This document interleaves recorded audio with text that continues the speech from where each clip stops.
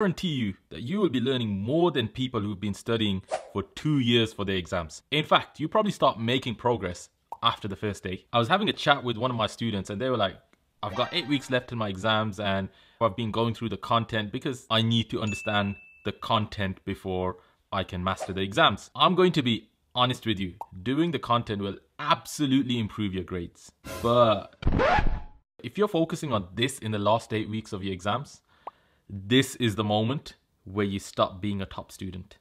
Or rather, you stop wanting to be a top student. Say you're 15, 16, 17, 18, whatever, and you don't really have many qualifications to your name. You're about to sit your exams. You have no skills besides having gone to school thus far, been a clown all throughout your years of schooling, and just been watching YouTube videos, right? Not you, but let's just imagine. In just five days, you can do papers and really dramatically improve your grades. Because we know from scientific research that the best way to improve your grade are by doing past papers. You will be able to answer a huge chunk of your paper just from a few days worth of revision by doing past papers. So if you can improve your grades significantly in a few days worth of combined practice papers than you have been able to do for the last few years, would you do this? Probably. Do you think it's worth it? The problem is that students think about improving their grades by covering all of the content first. But the way you're going to improve your grades the most is by doing papers. Why? What I found during my studies was that you want to learn the questions that are most likely to come up on the exam. Not everything on the specification is equally weighted. So if we take an example from, say, GCSE physics, you have F equals ma, which is a force equation, which is very common and likely to come up. In comparison to, if you look in your spec for GCSE physics, you also need to know typical walking speeds or typical running speeds. These are very unlikely to come up not that they don't come up. If you're going for top grades, of course, we need to learn this eventually. But first, we want to focus on the stuff that comes up quite often, the 80%, the ones that are coming up every single year. And the way you can learn that is by looking at the papers. A common mistake is then students start asking me, okay, can you tell me all the questions that come up? no!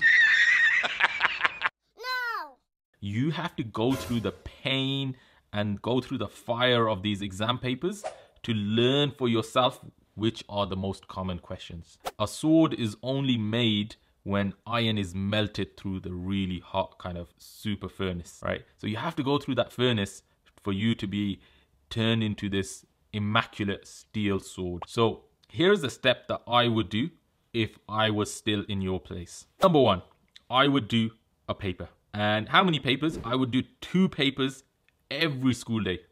After school, I would do two papers on a weekend or say Easter holidays, I would do four papers every single day. So these can be papers for any of your subjects.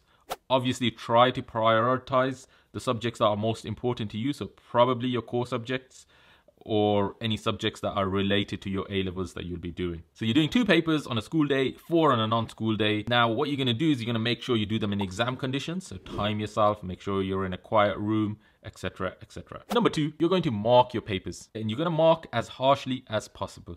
So in the real exam, you are hopefully pleasantly su surprised when the examiner is a bit more lenient than you. Number three, you will then record your results. It is very important that we record our results. What you can record, you can improve. What we can track, we can improve. Number four, you will then try to understand any of your mistakes.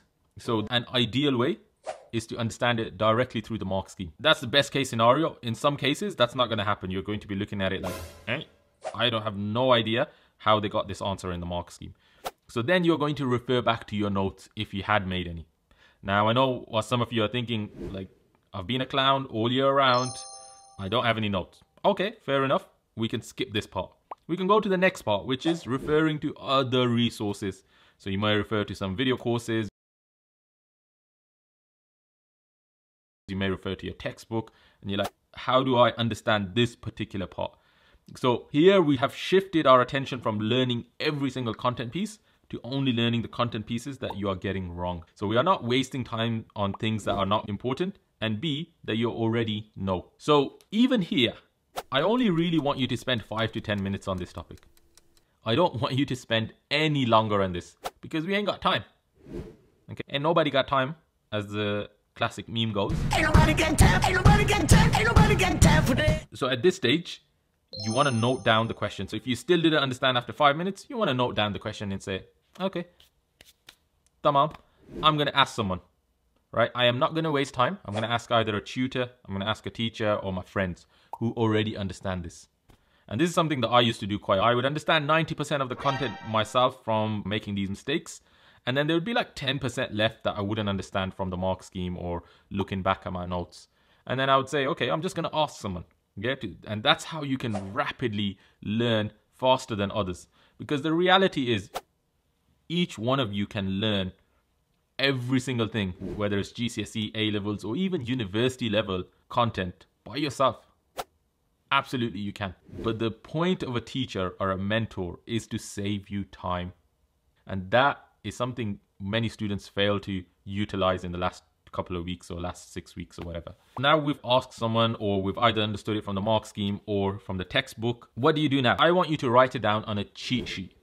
A cheat sheet, as the name suggests, is a piece of paper which if you had in front of you, you would be able to get full marks on those particular questions. Now, a cheat sheet will consist of key points on how to answer the question. It is not the answer to the question. So the, if the answer is like 68, for example, that is not what's on the cheat sheet. On the cheat sheet is how to get to 68, all of the steps, how to get to that. And you're going to do that for all of your mistakes on that paper. Now, once you've done this, you'll have a nice A4 piece of paper with condensed points that if you had, you would be able to get 100% on the exam or on this particular exam rather. Now, of course, you're not allowed to take that sheet of paper into the exam because that would be cheating, right? So what we have to do is we have to commit that to our memory. So you are going to use two methods. And this is super important. Like I found so many of my students who, you know, I tell them they have to do papers and they're like, they're doing papers. And then I look at their marks and it's not improving at all. I'm like, what's going on here? And it turns out after doing a paper, they don't bother memorizing their mistakes or memorizing the method to solve their mistakes rather. So we have to use two methods. Number one is rote learning. Now I've done a whole long video on it. You can watch it over here. And I would advise that should be your main method. It's an old school method that I've personally used to memorize tons and tons of answers in very short space of time. It's an old school method, but it's something that still works. And number two, anything that doesn't work there, we're to refer to flashcards. Now you can either do manual flashcards or Quizlet. Yeah, those are the two that I would recommend. When I say flashcards, please make sure they are your own flashcards, yeah? Not someone else's flashcards. These are your mistakes so it's to be your questions and your answers on the back. And then finally, we need to realize that's only put it into your short-term memory. So all of these steps have been after your one paper on that day. Now, we need to put this into our long-term memory because if you go to Google and type in the forgetting curve, you'll see that we forget 80% of the stuff by the next day.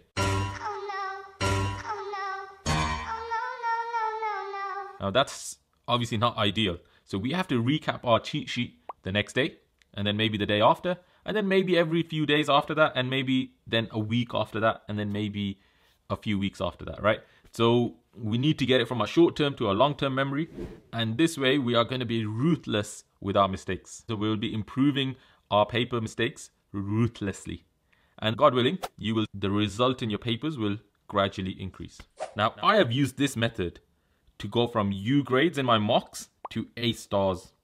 I kid you not. All right, if you follow this method to the T, I guarantee you're going to see at least a couple of grade improvements, yeah, at the minimum. More than likely, if you follow it to the T, you're going to get 8s and 9s, A's and A stars, guaranteed.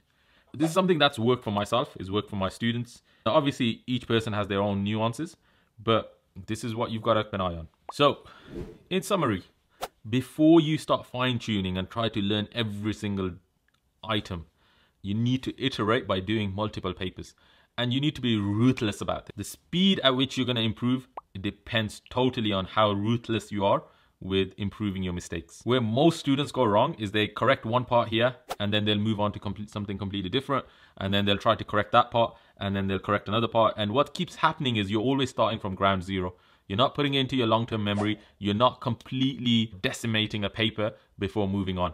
we have to learn every single mistake, even that one marker on that paper. Because that one marker could be a gateway to a six marker question in the future.